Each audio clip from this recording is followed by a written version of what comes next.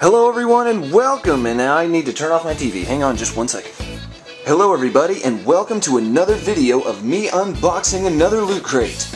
This, for the month of September, the theme is going to be speed. So let's, so let's speed past all of this stupid jargon and open this thing already. Alright, first up we have a t-shirt of sorts. Oh, Stark Industries Motor Racing. Ooh, very nice. A very slick shirt. I like the logo. Very aesthetically pleasing.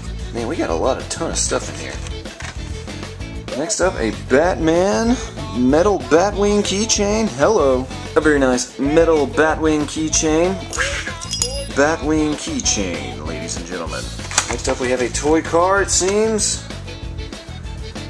Gone in 60 Seconds. Wow, that is random. The car Eleanor from the movie Gone in 60 Seconds. Really, the theme of this crate should be Nicolas Cage. Battlestar Galactica. Some sort of ship model. Cylon Raider Scar Titan. Looks like the wings are a little asymmetrical at the moment, but hey. Next up we have a collectible ornament. Here we are at my refrigerator with my Arrow statue that is also magnetic. Very nice.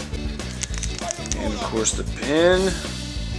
And that about wraps it up folks. Here's everything I got in September's Speed Crate. If you enjoyed what you saw here today, you can sign up for your very own Loot Crate. Just scroll down below and click the link in the description. It'll take you to the website where you can sign up there.